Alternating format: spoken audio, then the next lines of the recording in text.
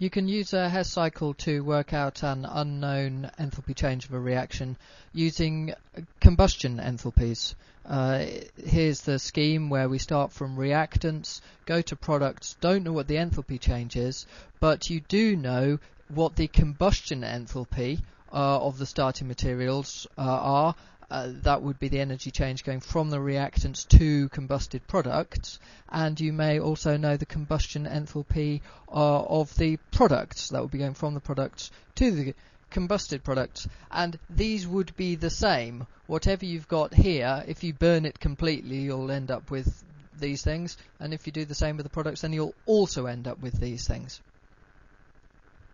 So, uh, as an example, this question says calculate the enthalpy change for the reaction of carbon with hydrogen to form C2H2.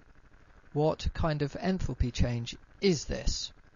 So the reaction is carbon plus hydrogen going to C2H2 and the data which you've been given is the combustion enthalpy of carbon, so that will be going from carbon to carbon dioxide, combustion enthalpy of hydrogen, so that would be going from hydrogen to water, and the combustion enthalpy of C2H2, which would be to form carbon dioxide and water. So here is the Hess cycle.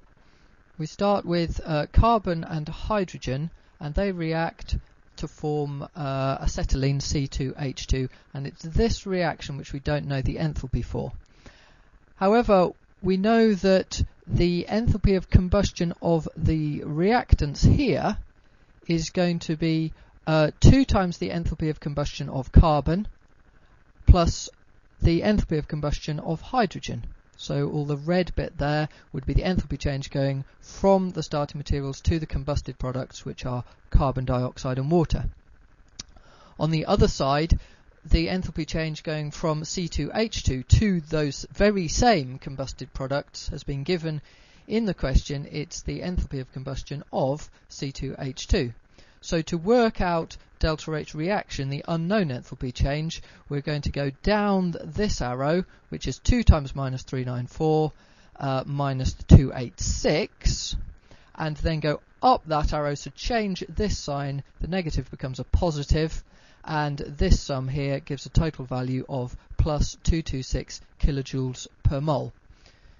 The question also asked what kind of enthalpy change is this, and uh, this is uh, an enthalpy of formation because you have formed a compound from its elements.